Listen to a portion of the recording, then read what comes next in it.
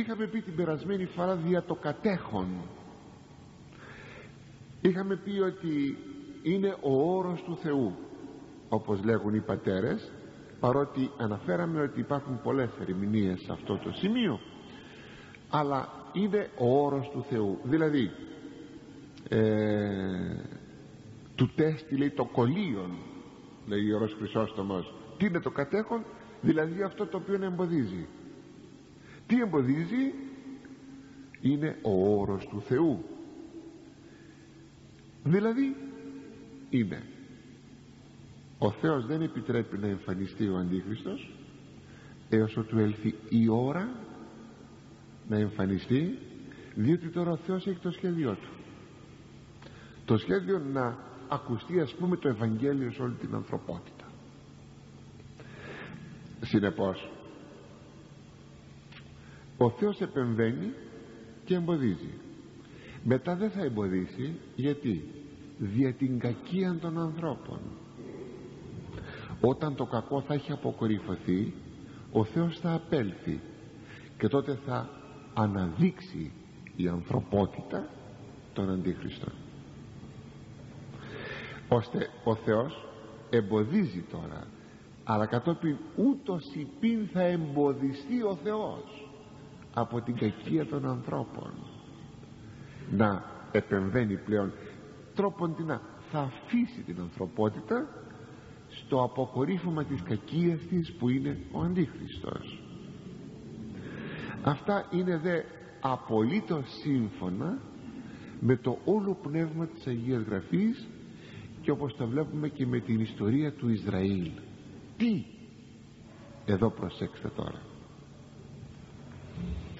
σας έχω πει ότι πάρα πολλά πράγματα τα πιο πολλά από εκείνα τα οποία προφητεύονται όχι όλα όμως έχουν μια διαρκή επανάληψη μέσα στην ιστορία.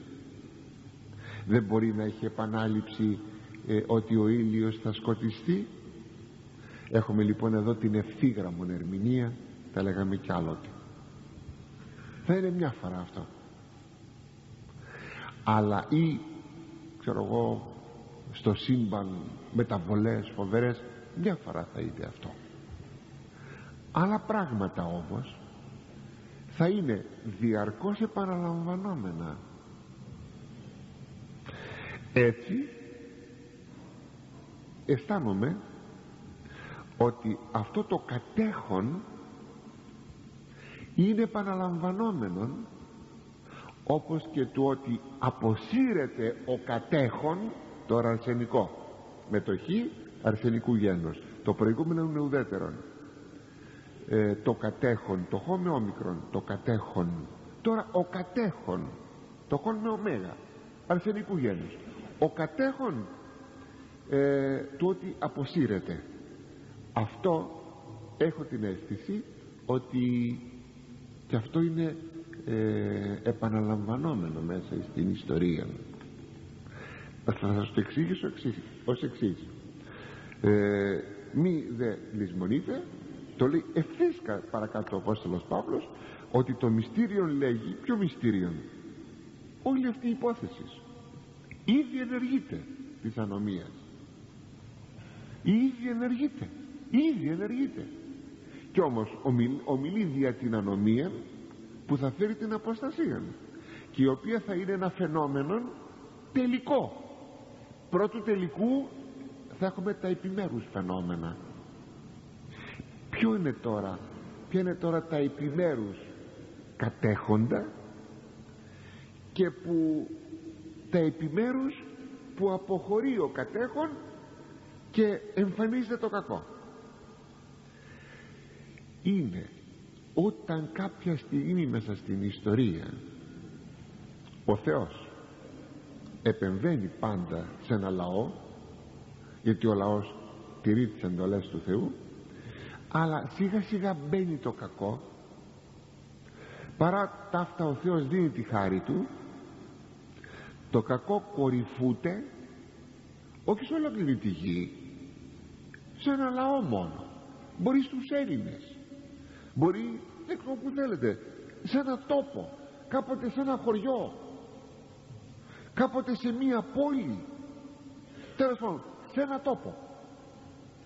Αφήνει ο Θεός κορυφούται τελικά το κακό έχει τη χάρη του όμως εκεί επεμβαίνει και όταν κορυφωθεί το κακό φεύγει ο Θεός. Και τότε το κακό γίνεται φουντώνει το κακό δημιουργείται όμως τότε μία κρίση όπως έχουμε και τις επιμέρους κρίσεις του Ιού του Θεού. Ο Υιός του Θεού θα κρίνει μια φορά την ανθρωπότητα στο τέλος. Εν τούτης έχουμε και τις επιμέρους κρίσεις μέσα στην ιστορία του Υιού του Θεού κάτι που φαίνεται μέσα στο βιβλίο της Αποκαλύψεως κατά έκτυπων τρόπων ότι κρίνει διαρκώς την ιστορία διότι τι επικρίνει επεμβαίνει ο Θεός. Έτσι αποχωρεί ο Θεός αποχωρεί ο Χριστός και η χάρη Του και το κακό γίνεται πολύ κακό. Κάποτε όμως οι άνθρωποι με το κακό αυτό σπάζουν τα μούτρα τους μετανοούν επανέρχονται και επανέρχεται ο Χριστός και η χάρη Του. Για να επαναληφθεί πάλι πιο κάτω στον ίδιο τόπο. Ή σε άλλο τόπο. Αυτό δεν το βλέπουμε και στην ιστορία του Ισραήλ. Όταν ο Θεός προστατεύει το λαό του σιγά σιγά ο λαός ειδωλολατρεί εισχωρεί, εισχωρεί, εισχωρεί ειδωλολατρία. Ο Θεός εγκαταλείπει το λαό του και τον παραδίδει στα χέρια των εχθρών του λαού. Προσέξτε αυτό. Μετανοεί ο λαός και ξαναεπεμβαίνει ο Θεός και το καθεξής. Έτσι μπορούμε να πούμε ότι αυτό συμβαίνει και στην πατρίδα μας. Ας με επιτραπεί να πω πολύ φοβάμαι όλα αυτά τα τρέχοντα γεγονότα που έχουμε και μάλιστα γύρω από το θέμα της Εκκλησίας ένα-δυο απορίες μου ετέθησαν αλλά δεν απήντησα δεν είχα χρόνο. Νομίζω ότι η καλύτερα απάντηση που θα μπορούσε να δοθεί θα ήταν αυτή. Αυτή που σας λέω τόση ώρα.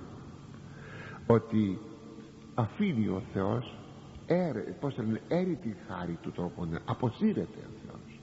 Και φουντώνει το κακό. Τρομάζουν οι άνθρωποι. Είδατε έως ότου λέγει προσέξτε μόνον ο κατέχον άρτη έως εκ μέσου γέννηται εκείνος δηλαδή που κατέχει εκείνος που επιβλέπει την εκκλησία πάει στην άκρη. Πάει στην άκρη και τότε φουντώνει το κακό. Μετά επεμβαίνει όμως ο Θεός. Προσέξτε επεμβαίνει ο Θεός με τον τρόπο και τη σοφία που έχει. Εκείνος ξέρει πως και εκείνος ξέρει πως στο προκείμενο παράδειγμα που σας είπα. Και τιμωρεί εκείνους οι οποίοι επικρατούν. Τους τιμωρεί πολύ. Κάνει κατάπληξη αγαπητοί μου η εξής φράση στην Παλαιά Διαθήκη. Λέγει ο Θεός να με ακούτε μη ειδωλολατρείτε διότι θα σας παραδώσω στα χέρια των εχθρών σας και μάλιστα λέει τους Βαβυλωνίους συγκεκριμένα ή τους Νινεβίτας τους Ασσυρίους. Αλλά όταν λέει θα παραδοθείτε εσείς στα χέρια αυτών και θα σας τυραννίσουν και θα σας βασανίσουν γιατί εγώ λέει ακούστε εγώ σας παρέδωσα στα χέρια τα δικά τους εγώ σας παρέδωσα. Τότε εγώ θα τιμωρήσω με τη σειρά μου εκείνους οι οποίοι θα σας έχουν βασανίσει. Περίεργο αυτό. Για σκεφτείτε το καλά θα σας φανεί πολύ παράξενο. Εν αν το σκεφτείτε ακόμα καλύτερα θα βρείτε ότι δεν είναι τι άλλο παρά αυτά τα οποία σας λέγω τώρα. Ο Θεός επεμβαίνει και αποσύρεται. Επεμβαίνει στην ιστορία και αποσύρεται. Κατέχει και πάει στην άκρη. Και πάλι επανέρχεται. Στο τέλος όμως θα γίνει το εξής. Στις μέρες του Αντιχρίστου δηλαδή προκειμένου να έρθει ο Αντίχριστος αποκορύφωση του κακού θα πάει στην άκρη ο Θεός θα αποκορυφωθεί το κακό αλλά και πάλι έχουμε επέμβαση. Ξέρετε ποια είναι; Ευθύς αμέσως η Δευτέρα του Χριστού παρουσία Μα η επέμβαση. Νομίζω ότι αυτό που σας είπα ως νομίζω ότι έχει μια βάση και μια κατοχήρωση το βλέπετε